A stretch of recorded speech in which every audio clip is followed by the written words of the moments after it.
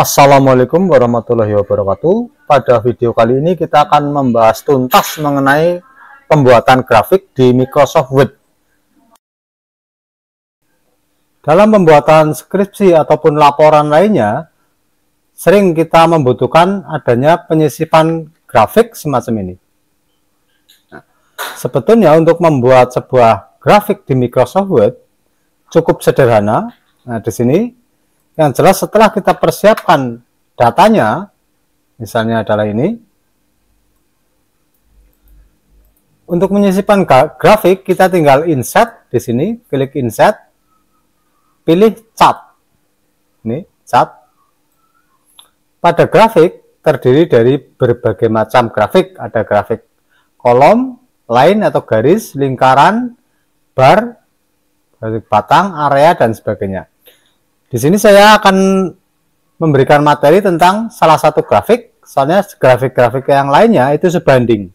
Nah, ada, untuk mudah dipahami, yang paling pertama saya bahas adalah mengenai grafik kolom.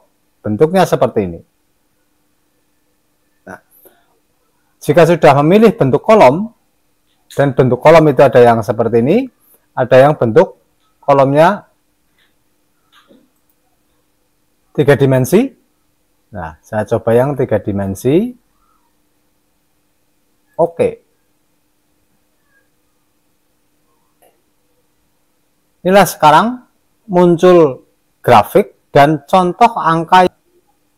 Sedangkan angka yang dimunculkan ini sekarang ini sama sekali tidak terkait angkanya dengan grafik yang akan kita buat. Ini cuma contoh saja yang yang di sini bawaan dari Microsoft Word-nya. Berarti untuk membuat sebuah grafik di Word, yang pertama jelas kita mempersiapkan data yang akan kita buat grafiknya. Nah, di sini ada contohnya ada kategori dan seri. Kategori dan seri. Kategori adalah objek yang mau dibuat grafiknya. Sedangkan seri adalah nilai ataupun naik turunnya kategori tersebut. Akan saya contohkan satu persatu. Untuk membuat data grafik Word, sebetulnya caranya cukup mudah. Di sini tinggal insert cat. Ini. Nah, pada cat kita bisa memilih macam-macam catnya. Ini.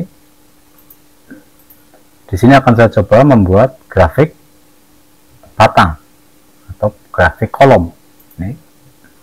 Langsung kita klik OK di sini langsung muncul grafik, langsung muncul grafik dan angka grafiknya. Angka yang akan dibuat grafik ini cuma angka contoh, bukan angka sebenarnya yang akan kita buat.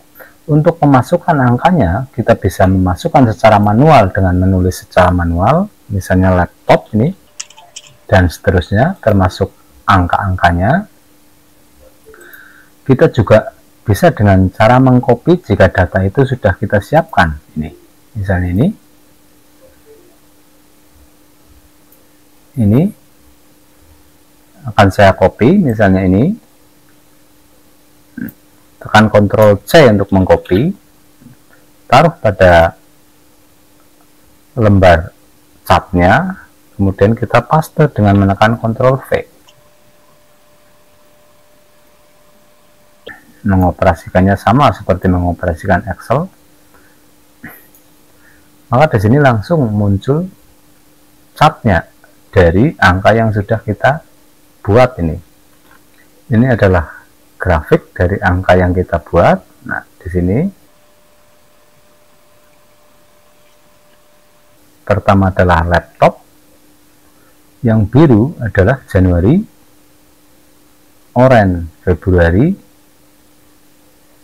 abu-abu Maret dan kuning adalah April. Nah, ini.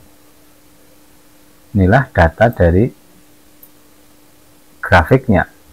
Seandainya angka pada grafiknya kita rubah misalnya dari laptop bulan April ada peningkatan penjualan sampai 30 ini 30 otomatis di sini juga menyesuaikan jadi 30 saya enter ini otomatis di sini juga menyesuaikan 30 nah, begitu juga yang lainnya. Ini saya kembalikan saja. Berarti apa pun yang tercantum di sini grafik selalu mengikuti angkanya. Untuk menutup lembar grafik ini lembar kerjanya kita tekan saja tanda close ini. Maka grafiknya sudah tertutup. Nah sekarang kita bagaimana mengoperasikan grafiknya? Grafik pada saat kita masukkan dia itu posisinya pada wrapping ini.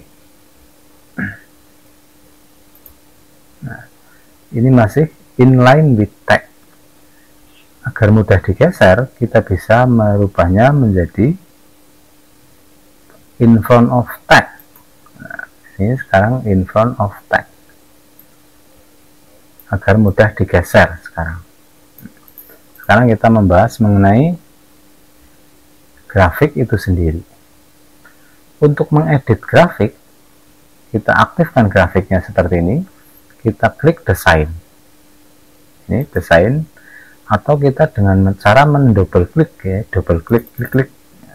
Di sini kita punya empat buah grafik yaitu grafik perkembangan laptop desktop printer dan scanner. Untuk merubah jumlah nah, di sini kita double klik ya.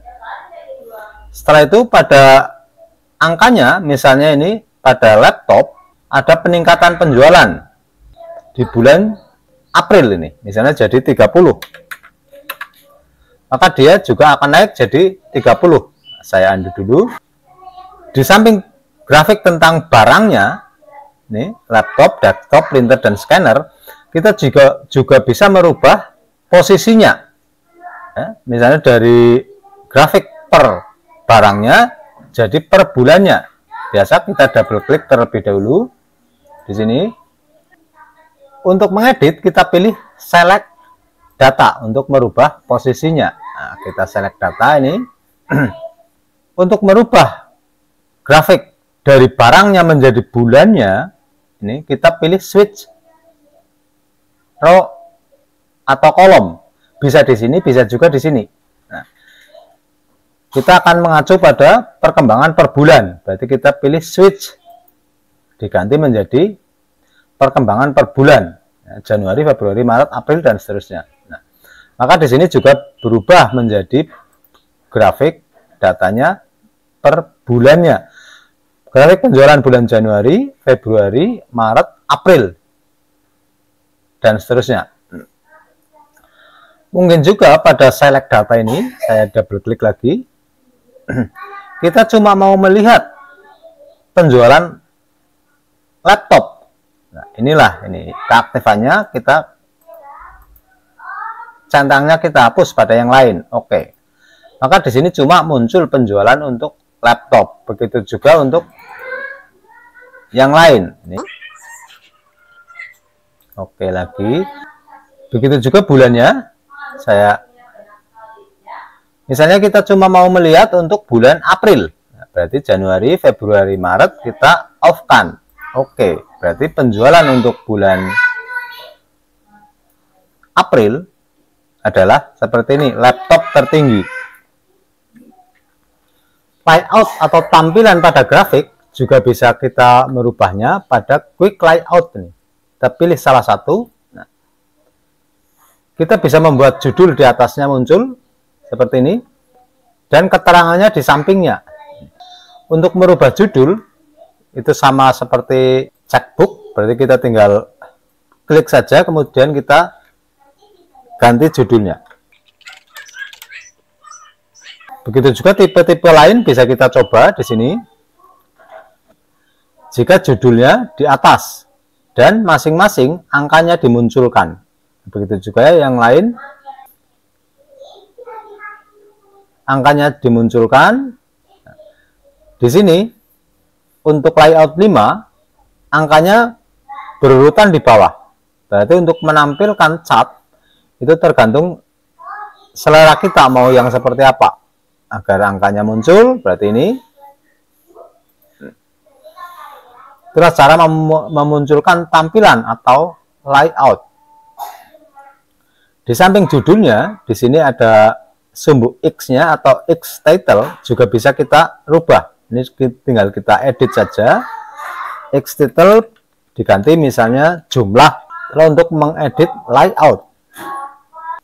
Kita juga bisa merubah tipe grafik dengan memilih salah satu tipenya di sini agar tampilan lebih banyak kita klik panah bawahnya ini. Ini misalnya kita mau pilih yang bentuk berwarna seperti ini ataupun bentuk tiga dimensi seperti ini.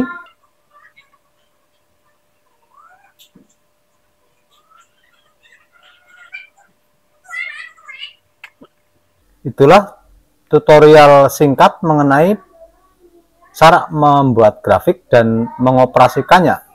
Untuk tutorial-tutorial Excel lainnya bisa teman-teman lihat pada channel komputer mendoan Terima kasih telah menyaksikan. Semoga bermanfaat. Wassalamualaikum warahmatullahi wabarakatuh.